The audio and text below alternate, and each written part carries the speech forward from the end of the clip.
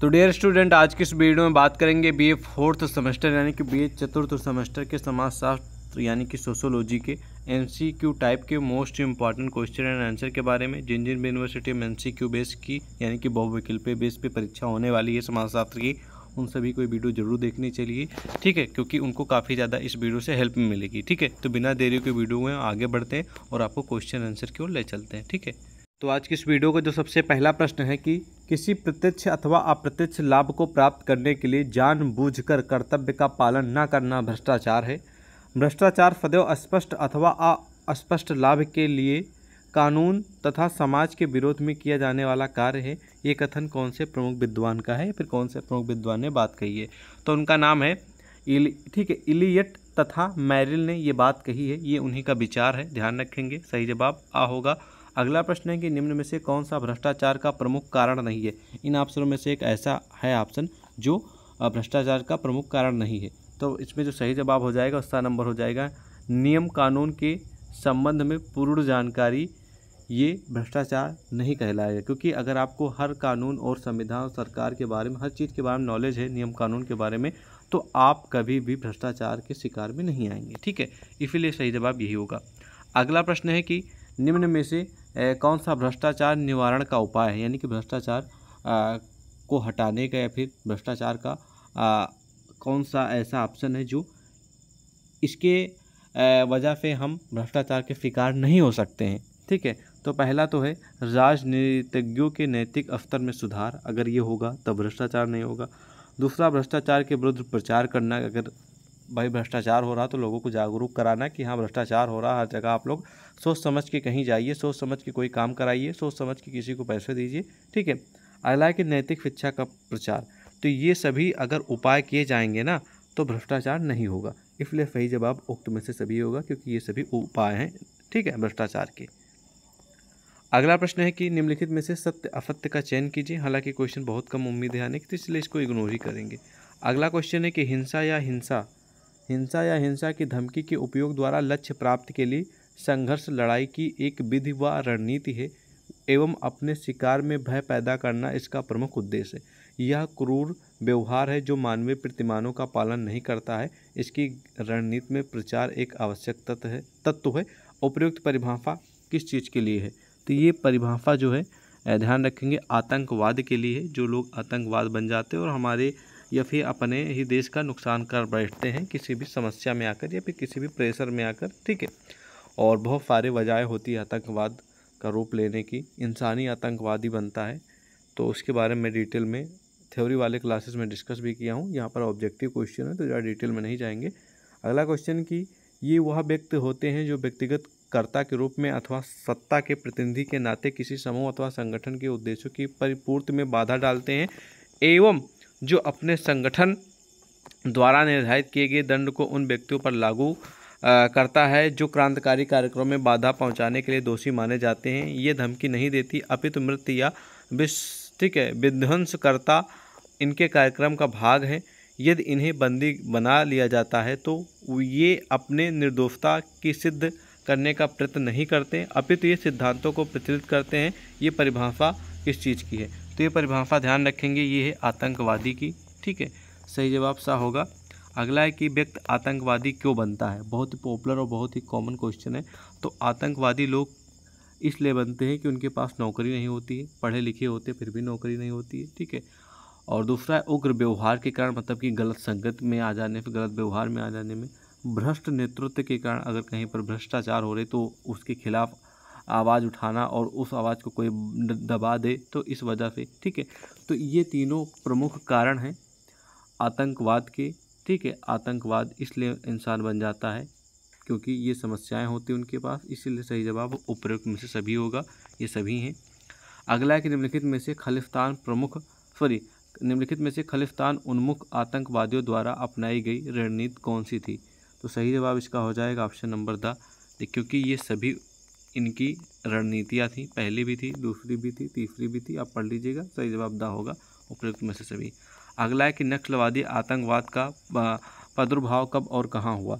तो नक्सलवादी आतंकवाद का प्रादुर्भाव जो हो, बंगाल में उन्नीस सौ सड़सठ में हुआ, सही जवाब बा होगा। अगला कि चीन का चेयरमैन, हमारा चेयरमैन है, ये घोफड़ा किसने की थी? तो ये जो घोफड़ा की थी चारू मजूमदार कि विद्वान हैं और समाजशास्त्री हैं, इन्होंने की थी, ठीक है? अगला है कि सही कोड चिन्हित करें। हालाँकि क्वेश्चन ये मतलब कि बहुत कम उम्मीद है, इसे इग्नोर ही कर देंगे। अगला कि भारतीय संसद पर आत्मघाती आतंकवादी हमला कब हुआ था? तो भारतीय संसद पर आत्मघाती जो आतंकवादी हमला है, वो तेरह दिसंबर 2001 को हुआ था। ब नंबर सही जवाब होगा। अगला कि मद्यपान वह अवस्था है जबकि व्यक्ति के लिए शराब पीना इतना आकर्षक बना, बन जाता है कि वह व्यक्ति बिना सोचे समझे ही पी, पीता रहता है, जिससे उसके मस्तिष्क, शरीर, परिवार तथा समाज पर इसका इतना बुरा प्रभाव पड़ेगा कि कोई उसकी लिमिट ही नहीं है। तो ये जो कथन है, प्रमुख विद्वान डॉक्टर मित्रा ने कही है, इसलिए सही जवाब इसका हो जाएगा सा नंबर। अगला है कि जब एक बार ऐसे मादक पदार्थों के सेवन की आदत पड़ जाती है तो इसे छोड़ना बहुत ही कठिन हो जाता है और वह सामान्य आदत के रूप में परिणित हो जाती है। यह उद्गार किस विद्वान ने कही है ये बात? ठीक है तो ये कही है इनका नाम है लिंड स्मिथ सा नंबर सही जवाब। अगला है कि निम्नांकित में से कौन सा मादक द्रव्य व्यवसन नहीं है? तो जो है ठीक है द्रव्य व्यवसन नहीं है। आ, वो आपको बताना है। वो है उपयुक्त में से सभी। ये सभी जो है ठीक है, मादक द्रव्य व्यवसन नहीं है। गांजा, भाँग ठीक है, स्मैक, हीरोइन। उसके बाद अगला प्रश्न है कि निम्नलिखित में से मादक द्रव्य सेवन का कौन सा कारण है? तो मादक द्रव्य व्यवसन के जो कारण है, वो है उपरोक्त में से सभी। फ़ैशन, पारिवारिक कटुता, बुरे मित्रों की संगत, ये सब क्या है? मादक द्रव्य सेवन के कारण है। अगला है कि निम्नलिखित में से मादक द्रव्यों के सेवन का कौन सा दुष्प्रभाव है? मतलब मादक द्रव्यों के सेवन की वजह से कौन सा दुष्प्रभाव पड़ता है? तो पहला तो पारिवारिक विघटन का कारण बन जाता है। दूसरा है पाचन तंत्र अस्नायु मंडल एवं मांसपेशियों पर प्रभाव मतलब कि गलत इम्पैक्ट पड़ता है, अपराध को बढ़ावा मिलता है, ठीक है? तो इसलिए सही जवाब दा हो जाए, क्योंकि ये सभी जो है वो दुष्प्रभाव हैं, ठीक है? द नंबर सही जवाब होगा। अगला है कि मदिरा और अपराध तथा ड्रग्स तथा अपराध जुड़वा बहने हैं ये कथन कौन से विद्वान ने कही है? तो ये कहा है मैका एवर एवं पेज ने ये बात कही है। सही जवाब द होगा। अगला है कि आज के प्रत्येक युवक युवती की प्रार्थना यही होनी चाहिए कि हे भगवान शराब एवं ड्रग्स से हमारी ए, रक्षा करो। ये कथन आ, कौन से विद्वान का है? तो ये जो कथन है प्रमुख विद्वान डॉक्टर परिपूर्णानंद जी का है। ठीक है परिपूर्णानंद जी का सा नंबर सही जवाब होगा। अगला है कि रॉयल आयोग का गठन कब हुआ था किस सन में? तो इसका गठन हुआ था अट्ठारह में। सही जवाब आ होगा। अगला है कि भारत सरकार द्वारा एंटी नॉर्कोटिक एक्ट किस वर्ष पारित किया गया था? तो ये किया गया था, ध्यान रखेंगे, प्रमुख प्रश्न है, अगर आपको मालूम है तो इसका उत्तर ज़रूर बताएँ, ठीक? क्योंकि कुछ क्वेश्चन का उत्तर आप भी बताया करिए। चलिए, इसका उत्तर बताइए आप लोग। कहीं से भी ढूंढ करके बताइएगा, ठीक है? अगला कि भारत में सूचना प्रौद्योगिकी यानी कि इंफॉर्मेशन टेक्नोलॉजी अधिनियम किस वर्ष पारित हुआ?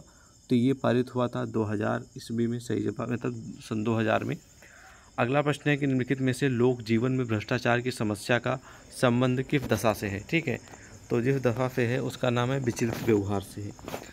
अगला कि घूस को किसने भ्रष्टाचार की मात्र एक अवस्था माना है?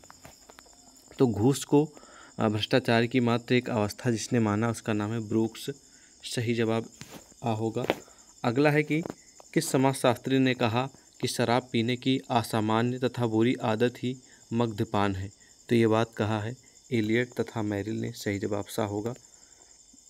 अगला प्रश्न है कि भाई भतीजावाद पक्षपात और सत्ता शक्ति का दुरुपयोग सभी किसके उदाहरण हैं? तो ये सब उदाहरण हैं भ्रष्टाचार के। आ नंबर सही जवाब अगला कि भारत में the narcotic drugs and psychotropic substances अधिनियम कब लागू हुआ था? तो ध्यान रखेंगे, इसका जो सही जवाब हो जाएगा। उन्नीस सौ पचासी में लागू हुआ था। सही जवाब आ होगा।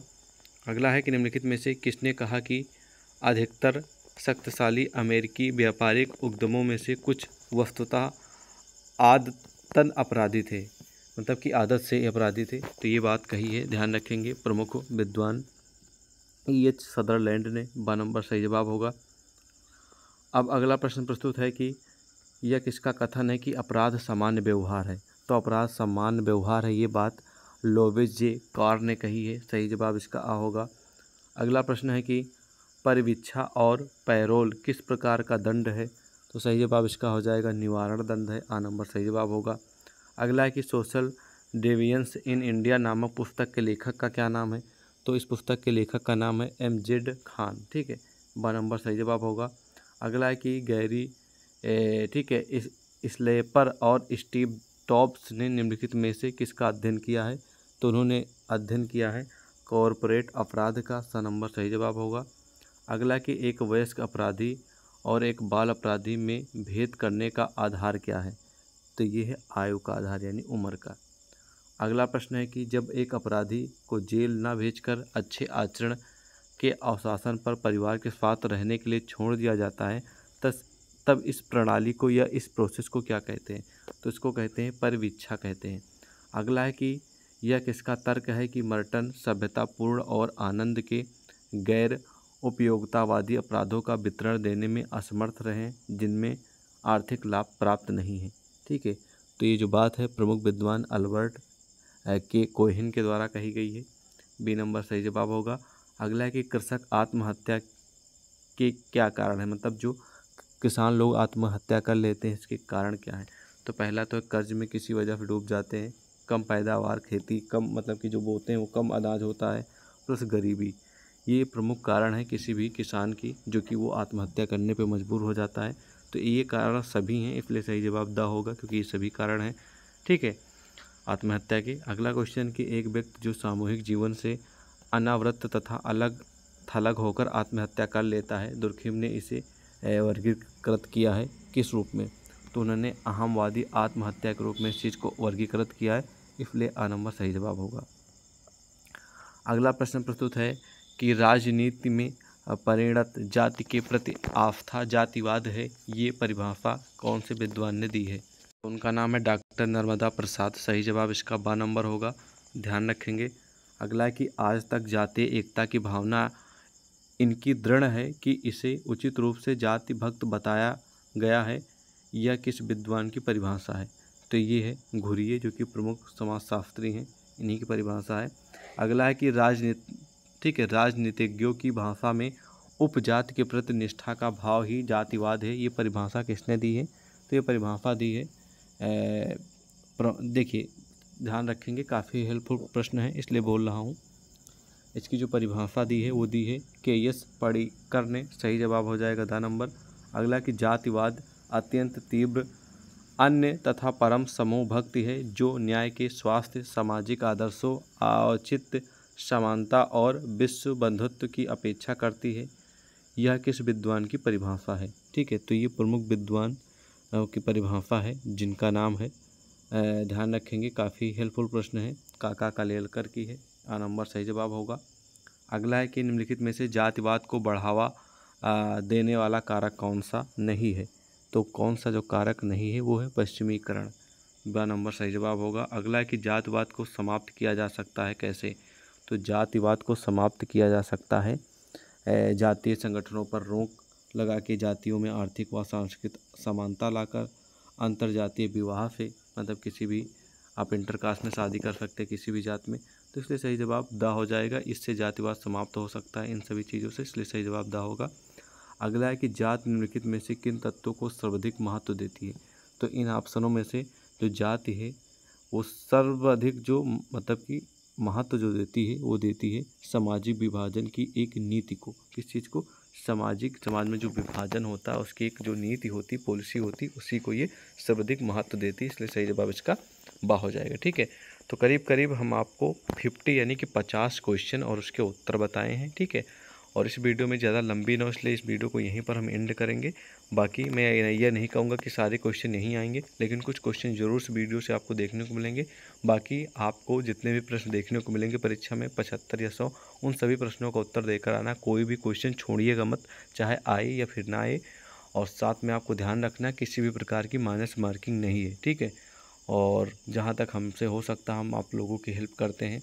बाकी आपका एग्ज़ाम अच्छा जाए गॉड से यही प्रे करते हैं और अच्छे से लिख के मतलब कि लिख के क्या टिक करके आना है और अच्छे समझ लेना है क्वेश्चन, तभी उसका उत्तर देना है और मिलते हैं एक और नई वीडियो में। जब तक के लिए जय हिंद और ये आपका अपना ही चैनल सक्सेस टू यू है तो सब्सक्राइब ज़रूर कर लीजिएगा ताकि आपको समय रहते सारी वीडियो का नोटिफिकेशन मिलता रहे। जय हिंद।